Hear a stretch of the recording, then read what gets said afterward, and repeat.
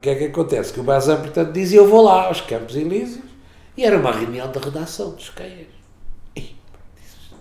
Isto é o, altar, isto aqui é o máximo.